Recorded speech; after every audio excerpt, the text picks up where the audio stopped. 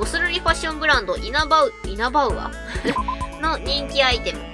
ゴスルリファッションってことは、あれや。えっと、名前を忘れた。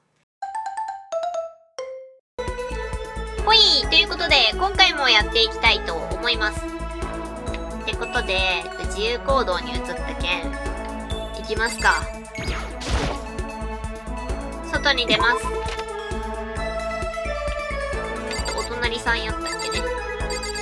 前園さん。インターホンを押してみよう。あのですね。苗木くん、私不安です。やっぱり怖いんです。どうしよう、前園さんを誘ってみようか。一緒に過ごす他の場所へ行く。一緒に過ごします。他の場所へ行くって別に二人で一緒に行くわけじゃないよね。一人でってことよね。私のことを励ましてくれるんですか？ごめんなさい。余計な時間を取らせてしまって。びっくりした。なんか私 いかん返答したかと思ったよ。選択肢とかないけど。僕は精一杯前園さんを慰めた。前園さんと少し仲良くなれたみたいだ。プレゼント今持っとんかな？渡す。渡すプレゼントを選択してくださいませ。ないのでは。な、ないのでは。交渉バッジ？これ渡していいやつ？でもプレゼント欄にあるってことはいいってことよね。プロローグをクリアした証とかあげていいんすか？あ、ですよね。そのプレゼントは渡すことができません。重要アイテムですので。ですよね。いやー、渡せてしまうのかと思ってはなかった。プレゼントを渡さない。だってないもん。あの、苗木くん。少しだけ私の話を聞いてもらってもいいですか？ど、どうしたの？急に改まっちゃって。私。あのですね。急に改まっちゃって言いますけど。私、苗木くんのことを頼りにしてますから。え？苗木くんがいてくれたことが本当に心強いんです。えっと。もし苗木くんがいなかったらどんなに心細かったか。だから。こんな災難に巻き込まれたのは怖いですけど。でも苗木くんがいるから、なんか安心なんです。前園さん。あの前園さんから面と向かってそんな風に言われるなんて。嬉しいけどさすがに照れるな。それは僕も同じ気持ちだよ。前園さんがいてくれて助かってるよ。本当ですか？お世辞でも嬉しいですよ。前園さんの笑顔。僕の心を和ませてくれる不思議な笑顔。お世辞なんかじゃない。この笑顔のおかげで僕は助かってるんだ。でもなんだか不思議ですね。まさか苗木くんとこんな風に仲良く話せるとは思っていませんでしたから。中学校の時は私と話してくれないどころか、あんまり目も合わせてくれなかったでしょ？話してくれないって別に話しかけられて無視しとったとかいうわけでもないんやろ？普通に関わることのない人種だったのでは。だって前園さんは有名人だしさ、あんまりジロジロ見るわけにも。って、あれ？どうして知ってるの？僕が目も合わせなかったって。あの私が苗木くんのことをちょくちょく見ていたからですよ。ええ、てか、いちいちさ、衝撃を受ける時の音が怖いんやけど、なんか。私？ずっと苗木くんに話しかける機会を伺ってたんです。僕に話しかける機会を？でも。だけど、私の周りにいつも人がいたせいで、結局話せじまいで卒業。それが心残りだったんです。え？好きやったとかそういう？でも、どうして僕なんかに？あの、中学1年生の時、学校の池に大きな鳥が迷い込んできましたよね。そういえばあったかも、そんなこと。日本の昔話にもよく登場して、なんとかは千年、亀は万年って鳥ですよ。鶴？鶴が学校に迷い込んできたんマジで？中学1年生の時に学校の池に迷い込んできた大きな鳥か。あれって確か、あ、そういうクイズ形式ですか？鶴ね。鶴だよね。学校の池に鶴が迷い込んできたんだ。すごかったですよね。だって鶴ですもんね。あんまり大きな鳥だから先生も驚いて何もできなかったのに、鶴とか見たことないんやけど。あったっけ？ないと思う。え、動物園とかにおったっけ？わからん。苗木くんが逃がしてあげたんですよね。あの鶴を学校の裏の森まで。動物園はフラミンゴの印象やな。飼育員だったせいで無理やりやらされただけだけど。あのですね。あの時のお礼、今言わせてもらってもいいですか？お礼？私。私があの時の鶴なんです。恩返しに来ました。布を折らせてください。いやいやいやいやいやいや。なんて冗談ですよ。うん、わかってるよ。でも、私が感心したのは本当ですよ。だからそんな苗木くんと一度話してみたかったんです。えっと、それがこんな形で実現するとは思ってもいませんでしたけどね。もしこれが街中だったりしたら、ドラマチックな再会になったのかもしれないけど。でも街中やったとしたら、こういう状況じゃなかったら、ばったり会っても話しかけてこんかったかもしれんよね。でもその舞台がこんな不気味な学園じゃな？私は、でも私は思うんです。あの時の鶴みたいに、きっと苗木くんが私のことを救ってくれるんだって。あのですね。ただの勘かもしれませんけど、なんかそんな気がするんです。僕が舞園さんを救う？うん、頑張るよ。それがただの勘で終わらないように。僕にできることがあれば何でもするつもりだよ。もちろん信じてますよ。だって私の顔はすっごく当たるんですエ。スパーですから。冗談ですよ。そう言って舞園さんはまた笑った。彼女との距離が近くなればなるほど、その笑みが僕の力になっていくような、そんな気がした。でもいつもなんかね、あの笑顔が、なんか目が笑ってないような気がするんよね。舞園さやかな通信簿に、今の情報を追記いたしました。おめでとうございます。スキル、美声を獲得いたしました。それは一体どう、スキルというのは一体、舞園さんと別れた後、僕は一旦自分の部屋に帰ることにした。はあ、しょっちゅう現れるこの部屋。そのうちなんか変化があったりとかするんかな。何？お昼？あ、違う。夜時間や。早えな。めちゃくちゃ早えな。えー、校内放送です。夜時間だね。午後10時になりましあったと。いう間すぎん。ただいまより夜時間になります。まもなく食堂はド今アをロックされますので、立ち入り禁止となります。ではでは、いい夢を。おやすみなさい。二日目？三日目？わからん。もう感覚がわからん。今日も終わりか。でも明日こそ、絶対に手がかりを掴んでやる。絶対に。でも一応まだチャプター1なんよね。目を閉じながら、僕の頭の中では、朝の舞園さんとの会話が何度も繰り返されていた。またあのなんか、変なま、モノクマの夢見るんやない。僕は悔しかったのかもしれない。僕には彼女の怒りを理解できても、それを共有することはできない。彼女は僕みたいな普通の高校生とは背負っているものが違うから。彼女は僕みたいに適当な気持ちで、この学園に来たわけじゃないんだ。だから僕には彼女の怒りを共有できない。僕は彼女とは、いや、他のみんなとは決定的に違う。それが悔しかったのかもしれない。まあでも他のみんなは今現在とか過去にもなんかそういう、ほら来た。そういうすごいことがあるけど、苗木くんはね、そもそも何にもないところからやけん。えー、ご覧の皆様、すでに殺し合い学園生活は始まっているわけですが。え？まだ誰も死んでないよね。実はひっそり死んどる人がおるとかそういうことは、本当に笑っちゃいますよね。この希望あふれる新入生の皆さんは、まだ自分たちが逃げられると思ってるみたいですよ。これは夢じゃないの夢じゃなくて、なんか、画面を通してこっちに語りかけてきよるやつうぷぷ、いつになったら始まるんですかね。あ、もしかしてあれやねあのパターンやねなんかその、なんていうん。なんていうん。裏カジノ、裏カジノじゃないけど、なんかそういう非合法な感じで、なんかこういう世界をさ、なんか楽しみよる人らがおるとかやないお金かけたりとかさ、かけてないにしても、なんか娯楽として楽しみよる人が画面の向こうにおって、その人に語りかけよる設定とかじゃない？違う？かな？希望同士の殺し合いは、まだかな？まだかな？そんな可愛い感じで言われても。え、でもなんかそれっぽくない？違うんかな？なんかこう、ゲームのプレイヤーに話しかけてきよんかなってずっと思いよったけど、もしかしたらなんか、視聴者っていうのがおるんかもしれん。と思った。お前ら、おはようございます。おはようございます。これ二回目ってことは、ですよ。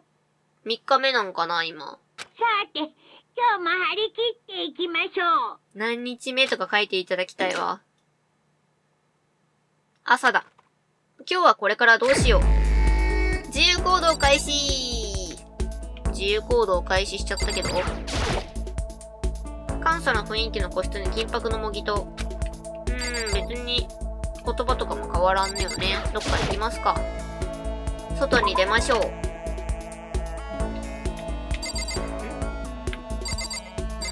うん。今日はどうします？別に特に誰がどうみたいなこともないんよね。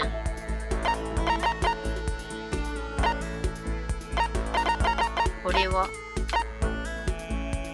1階廊下の学園前。この子お部屋におるよ。深川さん訪ねてみよう。えっと、深川さんどこかな？違うな。深川さん、深川さん。どこや？あ、あった。これや。インターホンを押してみよう。文句？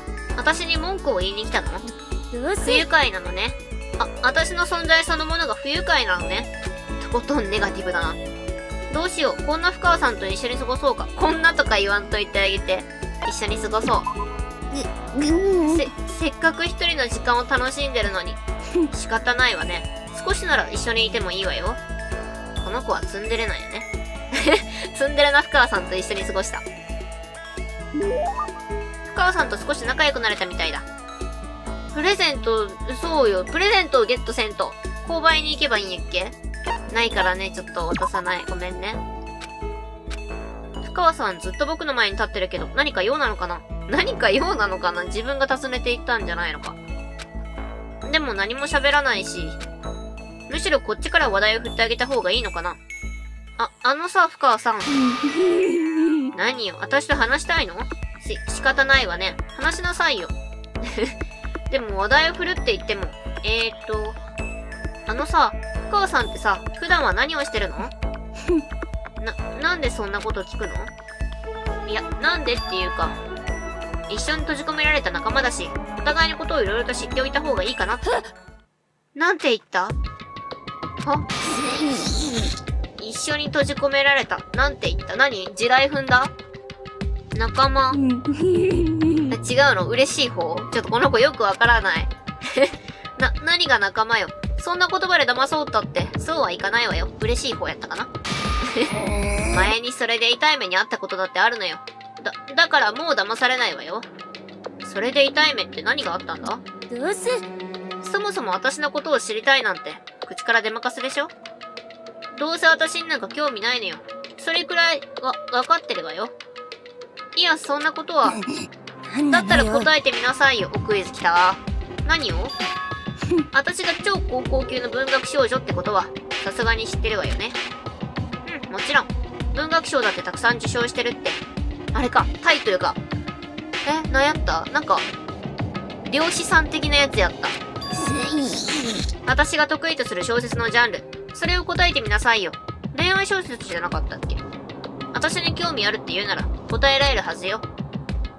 超高校級の文学少女、深川さんが得意とする小説のジャンルは？恋愛小説ですよね。な、あ、あら、答えられた？磯の香りの消えの間には、深川さんの代表作ともいえる恋愛小説で、影響を受けた若い女性の間で漁師が大人気になるなど、社会現象を生み出す大ヒットとなった、でしょ？どうして覚えていられるの？だって私のことなんて何の興味もないはずなのに。私でも覚えてたよ。あの前回収録したのは結構前だけど、一週間ほど前だけど、覚えてたよ。だから興味ないことないって。だって僕たちは仲間なんだよ。眩しいわ。あんたのまっすぐさが眩しいわ。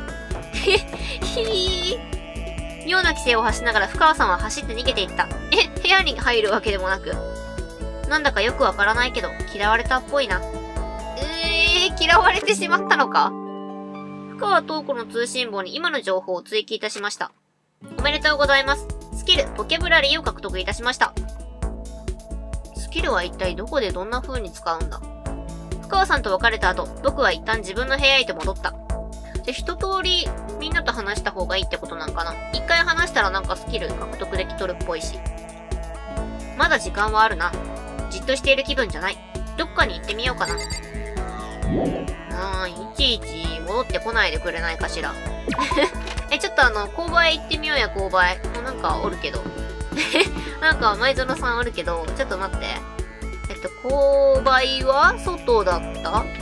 ちょっと待って、とりあえず。とりあえず、あの、校舎の方に、逆さまなのすごい気になるんよね。希望ま、希望が峰学園。希望が逆さまだから絶望ってことか？ね、購買どこ？絶望ホテル。やっぱそういうことなんかな絶望はなんかちゃんとまっすぐやもんね。ね、購買どこでしたっけ？あ、これか。あったー。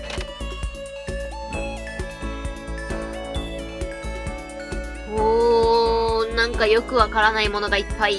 ほら、やっぱりガチャやん。あのコインを使ってやるってこと？なんかあのモノクマのマークがついたコイン。これってなんだ、もしかしてハンドルをひねって景品を出すあれ？モノモノマシンに挑戦なさいますか？ちょっと説明見とこう。あなた様は希望が峰学園の様々な場所で小さなメダルを手に入れることでしょう。小さなメダルやってドラッグ A や。これは毒ゾノさんも集めていると噂のモノクマメダルというものです。あ、やっぱそういう、そのこと言えるよね、これ。そういうことよね。手に入れたモノクマメダルの枚数は手帳メニューでご確認いただけます。1枚で使える？こちらの機械ではそのモノクマメダルを使って景品を獲得することができます。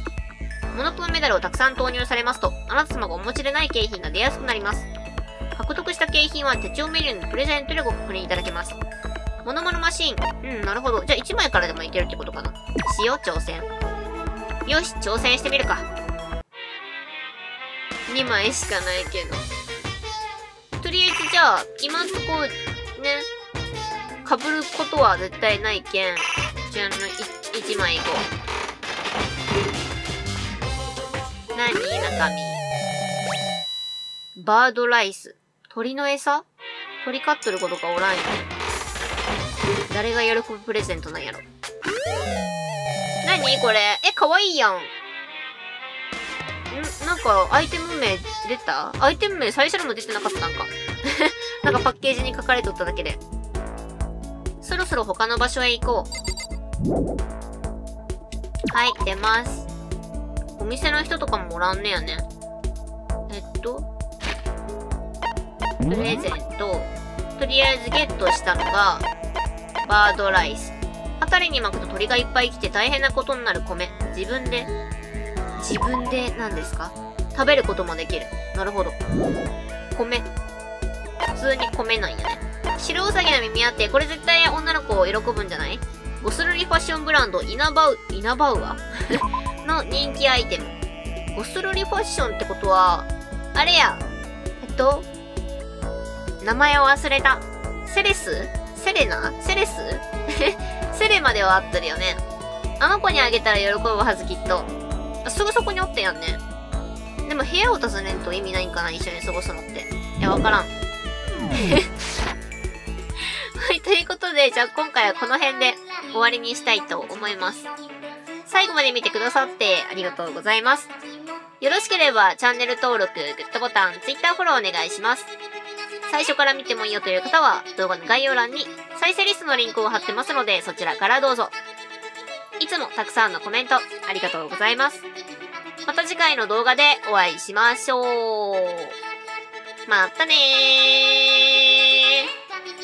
ー。ってことで、なんかね、喜びそうなプレゼントも見つかったけん、ちょっと話しかけに行こう。